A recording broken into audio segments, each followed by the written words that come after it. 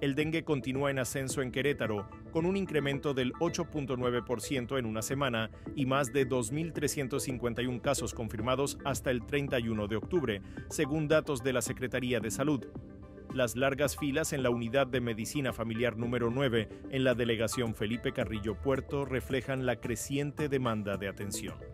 En este lugar, el brote ha afectado a cientos de personas, quienes deben esperar desde la madrugada para asegurar una cita en medio de limitados recursos médicos que generan frustración en los derechohabientes. Mi esposo se vino a formar a las 3 de la mañana. Y yo me vine apenas por lo mismo que como no puedo estar mucho tiempo sentada, como le comento me duelen los huesos, este, no, no le tolero mucho tiempo estar sentada o parada por eso me vine apenas a las 6 de la mañana. Síntomas, dolor de huesos, mucho dolor de cabeza, eh, temperatura y ya después de ahí conforme va pasando el tiempo lo que no se le baja la temperatura y le duelen más los huesos.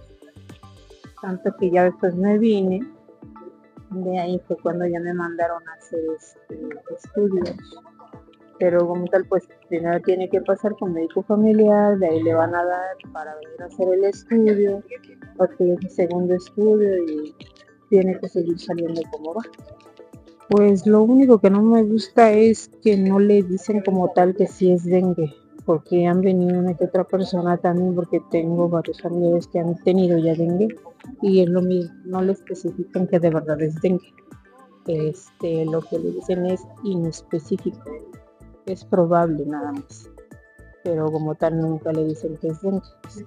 Hasta, mañana que pase a consulta, bueno, vuelvo a venir otra vez a formarme y ya de ahí me digan este, si eso o no, pero no sé decirlo. Igual a formar, si quiere que le toque de las primeras, son de las 3, 4 de la mañana en el trabajo pues no me puedo presentar, por eso precisamente vengo para que me den justificante para mi trabajo, si no pues tendría que presentarme a trabajo y como tal pues no puedo porque luego me agito mucho, me duele mucho el pecho, entonces no, como tal.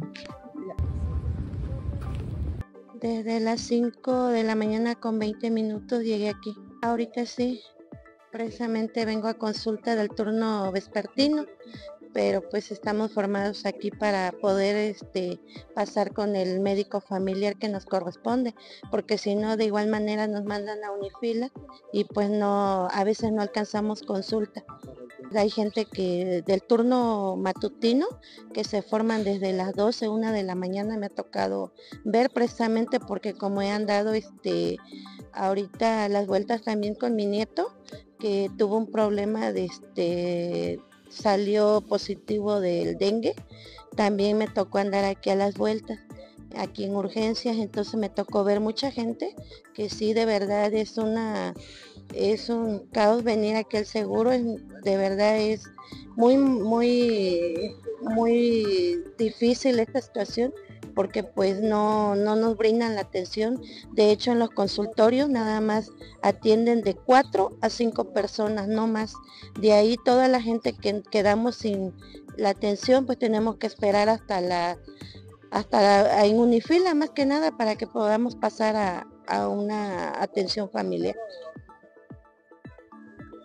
Este, estoy formada desde las cuatro y media de la mañana para el turno de la tarde al médico familiar para que me manden con un especialista. Pues hay bastante, muchísima gente y muchos ni alcanzan luego consulta. Les dan aquí las 8 de la noche y luego les salen con que ya no va a alcanzar. No, ahorita dejo mi tarjeta de, estoy aquí desde las 4 y entrego mi tarjeta a las 8 y a la una y media regreso. Por eso me vengo temprano para que me toque y sea la primera o la segunda porque si no, no alcanzo consulta. Pues yo diría que ampliaran más las tarjetas que reciben, porque nomás reciben cuatro tarjetas y pues, las demás se tienen que ir a unifila y salen ya bien tarde. El aumento de casos de dengue ha impactado a varios municipios, entre ellos Peñamiller, Arroyo Seco, Jalpan de Serra y Tolimán. De los casos reportados, 1.843 corresponden a dengue no grave, 463 presentan signos de alarma y 45 son graves, sumando dos defunciones. Aunque el Estado ha desplegado brigadas para combatir la enfermedad mediante fumigación, control larvario y eliminación de criaderos, los contagios siguen incrementándose a pesar de la ausencia de lluvias.